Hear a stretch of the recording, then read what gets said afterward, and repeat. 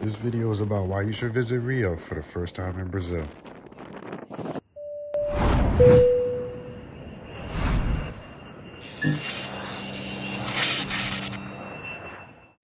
So I'm trying a new format, walking tours with the voiceover stuff, educational content. My channel has been going through different phases. It used to be walking tours only exclusively, a little bit of the lives, but I want to go directly into the lives. But in order to do that, I need to have growth. So I'm switching up the format, trying new things, so bear with me, guys. So today I'm going to talk about the many reasons why you should consider Rio de Janeiro as your first trip to Brazil. So here's my few uh, anecdotal points per se. So number one, culture. Know, Rio is a city that's really rich. It's full of diverse diversity, um, its influences from indigenous, African, and European traditions. You know, it's, known for its lively music, dance, samba, art scene, as well as its colorful and vibrant street life. For example, you will be able to live in, in Rio and do something brand new every single day in six months, and you'll still have more things to do. There's so many things you can do. It's kind of similar to New York in a sense where there's always some things that pops up. It's always like pop-up shops, always new events that's coming out. So it's hustling and bustling and vibrant in that aspect.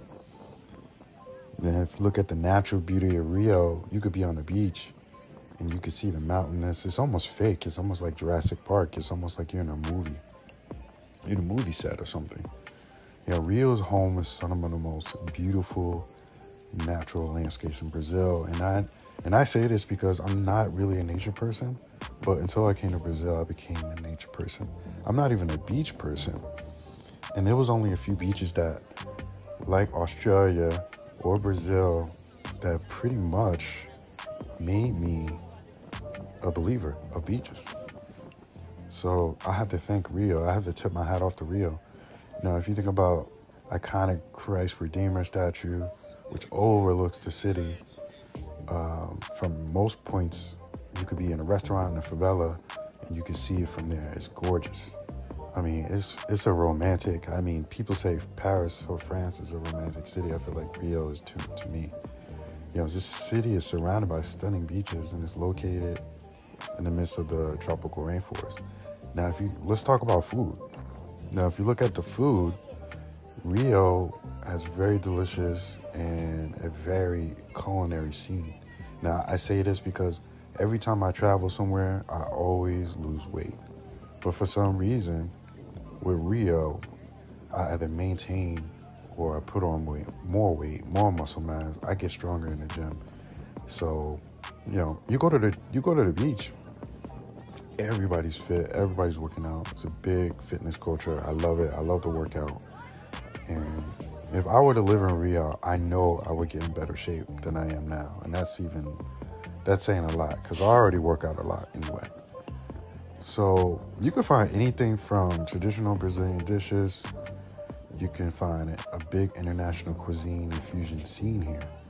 Now, let's talk about the nightlife. Now, I can't really say I know a lot about the nightlife, but because I do the podcast, I was doing a podcast at night, and I will bring those back. But Rio is known for its lively nightlife, and they have a lot, a range of bars like Belo Monte, Casa Blanca Madureira, um, Barra de Tijuca. You have a live music venue scene. You could walk around the, um, the boardwalk and you see live bands playing you know, I ran into Nego do Borel a few times, and he's like one of the biggest artists. And I didn't know that he was one of the biggest artists. And Cortis, he sings that song Coração. So whether you want to dance the night away or you want to just relax, have a um, you have plenty of options in Rio de Janeiro. I mean, overall, the culture, the, the, the nature, the food, the nightlife, you have a lot of reasons to, to visit um, Rio de Janeiro. Now, like for example, Christ the Redeemer. I don't know if this is considered the seventh wonder of the world, but this iconic statue is one of the most famous landmarks in Brazil. And I'm telling you right now, it's a must see. You, you, on your first week, you gotta go see it because when I go back, I want to see it again. Well, I want to document it in a different way because I, I was talking to my buddy of mine when we were up there. Now, also, as as stated in this video, the beautiful beaches. Rio has some of the most beautiful beaches in the world, and I try to cover a few of them on this channel, including Copacabana, Ipanema. That goes without saying. The vibrant nightlife Rio's known for is, you know, different range of live live venues. As I said before, you got the food, you have the dance scene. You can go to a club, and you know, I've heard. I've, I haven't experienced this yet because I haven't been to an actual club, you know. But I heard, you know, there's a big kissing culture here. Um, people just love to have fun. I don't I don't really see it as a culture of people. You go to a spot and and people are just wall, wallflowers. I don't really see that happening.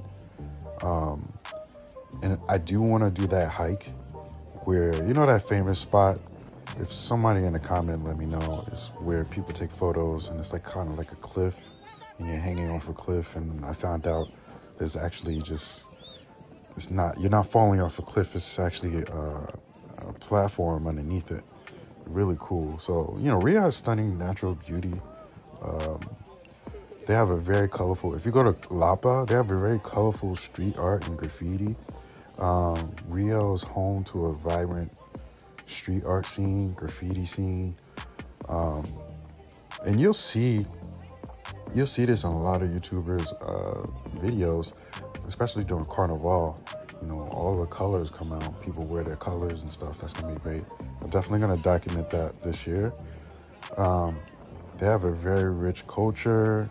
Uh, you have um, samba, you have funk, you have uh, what's what's that karate? Uh, capoeira.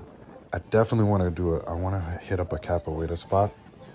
So you have all these really cool influences. Um, you have a great opportunity to learn about Brazilian history. Do it. Uh, Rio is a home of a number of museums. I'm definitely gonna um, check out museums and historical sites. Uh, I, am not going. I'm not too sure how I'm gonna put that into the show or on this channel because I want to focus more on the lives. But uh, maybe I'll put that on locals. I, I'll put all that stuff on locals, and I'll put my dating experiences on local.com because I realize a lot of people really don't care about the historical stuff, and if they do, it's a very small minority. Um, it's a great place to learn about Brazilian history and culture, Rio. And, and then last but not least, the, the friendly locals. Brazilians, you know, they're very warm and friendly. You can go to the beach and you can just talk to everybody. Uh, you can see a pretty girl at the beach and you can just go up to her and talk to her, have a conversation, exchange numbers. You can actually go on a date with her later on that day. You can actually disconnect and kiss her in a matter of 10 minutes. It's just the way the culture is. You know, you you if you go there, you'll find out what I'm saying is particularly true. The locals are always happy to share their city with the visitors and make them feel welcome. But anyway, guys, this is basically why you should choose Rio as your first visit when you go to Rio, uh, Brazil. Um, so you heard it here first, and make sure you like, comment, share.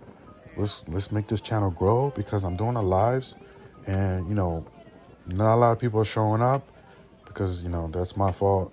This this channel was a walking tour channel but I'm pivoting into lives. I'm gonna have the people on lives, and I want some engagements. And it's gonna be, you know, it's gonna be a dating show and all that stuff happening. It's gonna be very engagement, and I'm counting on you guys to be in the, in those chats and engaging.